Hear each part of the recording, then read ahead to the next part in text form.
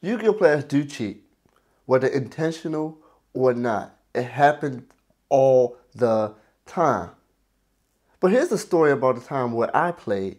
I don't know whether I cheated or not, whether my opponent was cheating or not. It's a blur. But here's my side of the story. And I will also tell you his side of the story. And you can decide for yourself. I'm playing Chimera Branded.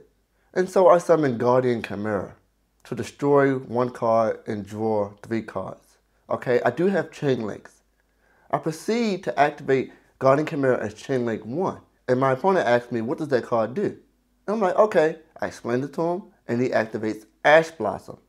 And I'm like, wait a minute. I have chain links. I have not finished my chain links. And he said, yes, you did. You didn't declare your chain links. And I'm like, wait a minute. Hold on. You asked me what this card do. And I looked at you.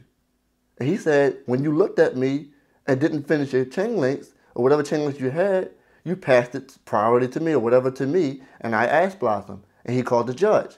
And he said, Judge, and explained to the judge. And the judge sided with him and said, Hey, I didn't declare my chain links. And he asked blossom my guardian chimera.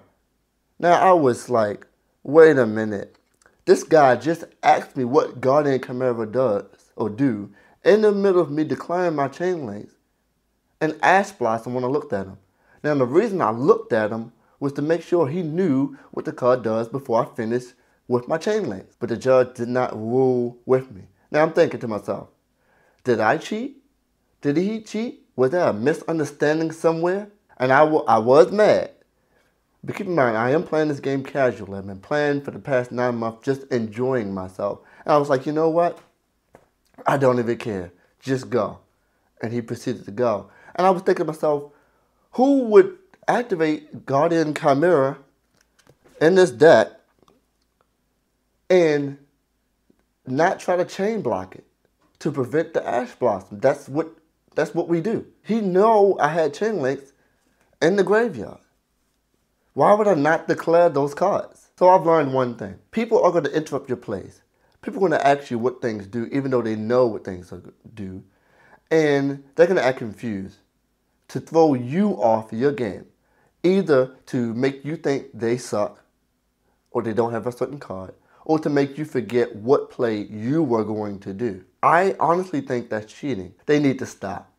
They need to stop. If you go to a regionals, if you go to a YCS, if you go to a big tournament, you should already know what cards do.